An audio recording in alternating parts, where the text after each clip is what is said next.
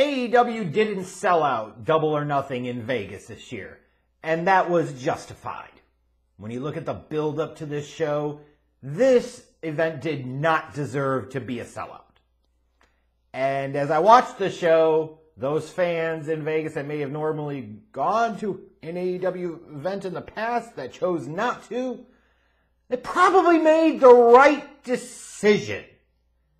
Because, God, this was a really, really rough watch for me. Me! Me! Look at me gallop so pretty!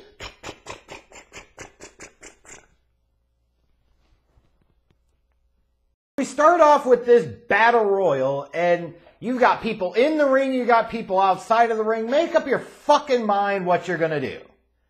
And as I'm watching this, a couple of things really stood out to me. One, it's a shame that Ricky Starks is just one of 21 in this match.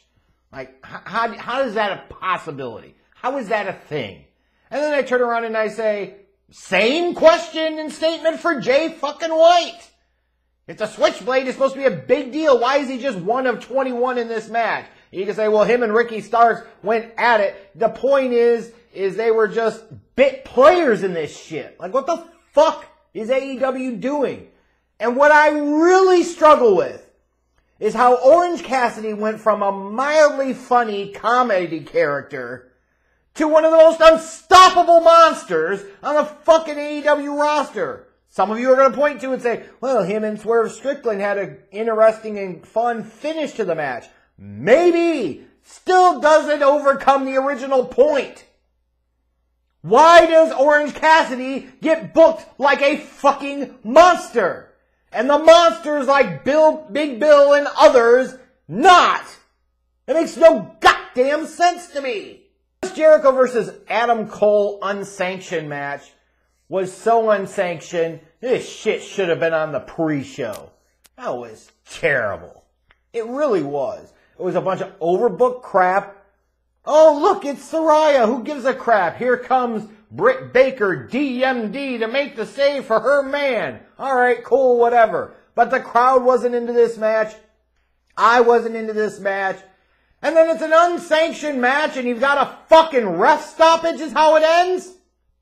Now, certainly somebody's going to fact check me in the comments and say, there have been other unsanctioned matches that have ended with ref stoppages. Probably right. And it doesn't fucking matter because in this particular case, it was stupid. This match sucked. Look at me, God, I'm so pretty! Oh, hello there. My name is Karen, and I like carrots and nuts. Me, me! And of course, you know me by now. I am the horse-faced bitch of a wife. They just fucking get it! And how dare that fucking mule-face Aubrey Edwards stick her nose, her snout, into business where it doesn't belong with my fucking husband, Jeff fucking Jarrett! That's why you got that guitar shot, you hussy! You will take two guitar shots next time you ever get in my man's business ever again! You screwed up everything! Everything I said! I was looking so fly, like an equine, from the sky! Me! Me! We could have been something, Aubrey Edwards! You have me, the horse-faced bitch of a wife! They just fucking get it! Madison Rayne is there! Nay, Madison Rayne! We had the goat, and then we could have added you as the mule for the group! We could have been the barnyard and ruled the women's division of AEW! Instead, you wanted to get in there with your overacting, dumb-looking ass, and I had it! Me! Me! That's what you get, bitch! Here I come, Jeff! It's 2023, and we still gotta deal with this shit. 2023! And we still gotta deal with this shit! swear to God, it's a fucking conspiracy against me!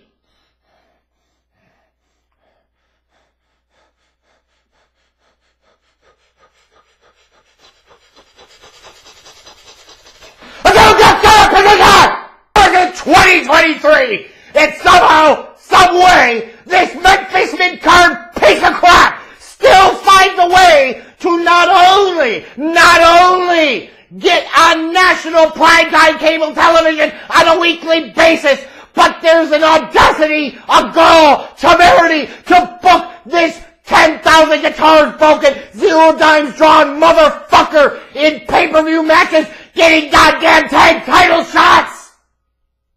When is enough enough?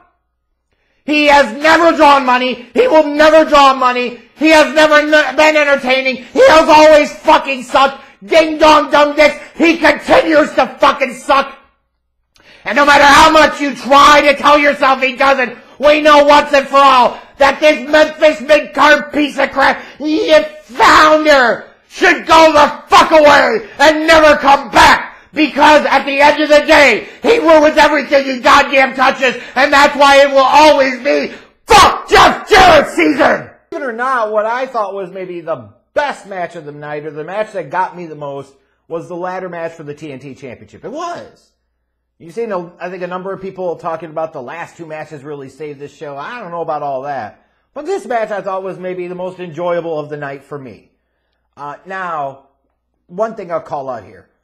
Seeing a big dude like Wardlow doing a swanton off the top of that ladder, that's some special shit. I don't give a crap. Uh, but as one of my followers on Twitter said, it would have been nice if he did it to his actual opponent. I'll give you that. Secondly, I'd rather you save a spot like that for like all in at Wembley or a world title match. But it is what it is. This was fine for what it was. Wardlow goes over, even broken ladders and every damn thing else. It was one of the few things I found that I actually enjoyed on Double or Nothing this year. This wouldn't be AEW if you didn't have too many goddamn title belts. Well, to be fair, WWE does too, so what the hell's the difference? Addicted to championships, that's what the hell they are. The Trios Championship. At least we got a sighting of the acclaim, because God knows at this point in time in the show, it frickin' needed it. And Max Caster spit that hot fire on the microphone. He said, buddy, he said, Buddy Matthews, watching as his, he's getting cut by a guy named Dominik. we, we couldn't just put the straps on the acclaimed? Like, are we really pretending like the House of Black is an interesting, compelling group or gimmick or faction? The acclaimed are. Find an excuse to put them on TV more. Fine, whatever. I really didn't care about this match. But I'll remember Max Caster's burn on Buddy Matthews, that's for damn sure. Jade Cargill is just fucking gorgeous. Brandon Phillips is a very, very happy man, I'm sure, because he gets to look and says, that's my girl. Wow. Just incredible. And her entrance, that was fire. How the pretty girls walk. Indeed. They walk however the hell Jade Cargill walks. But that entrance felt big deal. Like one thing you could say about Jade Cargill is when she appears, you feel like you are seeing a star. And this match against Taya Valkyrie, there are a couple of rough spots here. We can't deny that, but I thought it was solid. It wasn't great, wasn't terrible. It was solid. And I thought, okay, you know, you saw, saw some rumblings about maybe uh, Botchlander would be coming back here, and I thought, okay, she wins. Now she goes to 60 and 0. You're teasing Botchlander, and then there you go. But you're gonna wait for this. But no, they couldn't fucking do that. The same weekend Bianca Belair sees her long title reign end. You got Kris Botchlander coming out and beating Jade Cargill in like two goddamn minutes. Now, to me, my opinion, if you really wanted to smash over Botchlander here, you don't do that by having her be the second match for Jade Cargill, unless you were intentionally trying to flip Jade Cargill 100% babyface, which this night kind of felt like a little bit, and that match certainly fucking should. If anything, Botchlander should be getting the shit booed out of her, because how dare she come back and take that opportunity like that? At least wait to goddamn Wednesday on Dynamite. Then we get the four pillars match for the AEW World Heavyweight Championship. The four pillars of AEW, yet they can't even main event the fucking pay-per-view. And frankly, it shouldn't have. Because the build up to this sucked. This feels totally like one of those concepts that looks great on paper. And then when you get to start building up to it, you're like, oh look, Sammy Guevara and Tay Conti are having a baby. Who gives a crap? Who gives a fuck? Anyways, this match wasn't bad. Oh no no no, it was actually good. Uh, the the round spot where the round the the round the horn spot where they did the tribute to their mentors, like that flowed well. That was good. It was a good match. I just really didn't care because at no point in time did I think MJF was at any potential risk of a loss here. Nor should he have been, frankly. Um, these guys did the best they could, I think, given the circumstance and situation. They were just booked into a bad spot. To me, this is a perfect example of shitty creative and shitty writing leading up to a pay-per-view that no matter how much the match tries, it just can't overcome that. You know, the way the match finished, fine, as long as it does one thing and one thing only. There is only one opponent for MJF that we want to see it all in in Wembley. There's only one. His protege just got beat by MJF. It's Sting, damn it! Sting! We know MJF fears Sting! You want to put together the best main event you possibly can for Wembley? It's Sting versus MJF for the AEW World Heavyweight Championship. All other matches bow down in fucking comparison. What's the problem, MJF? Brock? Chicken? We know you're scared. You should be scared. Cause Sting will send that young lion will roar!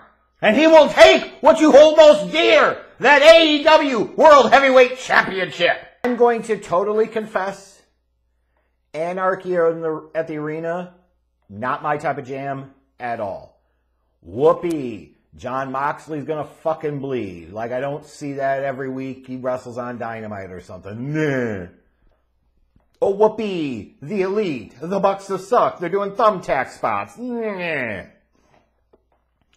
I probably could envision that if I was there at the show in person in Vegas, I might have gotten more entertainment value out of it, as opposed to being at home and already three plus hours into a pay per view and I'm fucking tired as hell and I gotta watch this stupid crap. At least they gave, like, I guess they gave Wheeler Yuta the shine here by letting him hit the pinfall. Whatever. Who cares? We'll see what the big deal is. Again, this is one of these things that's not even worth me like ranting and raving about because I just don't care. It's just not for me, and sometimes that's okay, right? But that is a common theme for me as I looked at this show. It was a lot of it that I just didn't care about.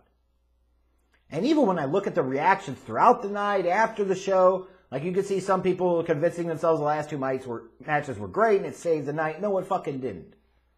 Now maybe for them it did, but in general, no. This show didn't sell out for a reason. The excitement for this show was tepid for a reason. The whole aura and mystique around AEW being the new shiny toy and the new cool thing, that's largely gone. You have to give us reasons to give a crap about these performers, these wrestlers, and the stories that they're involved with. And Tony Khan doesn't do a great job of that. The Four Pillars match wasn't even the main event, that's for the world title, with arguably your biggest, you know, regular star in MJF. Whatever. I thought this show was bad. Like, it is not the worst show I have ever seen by any stretch of the fucking imagination. But did I think it was bad? Yeah. Like the Anarchy at the Arena match starts off and you've got fucking music playing. Oh, it's a guy in fucking blackface!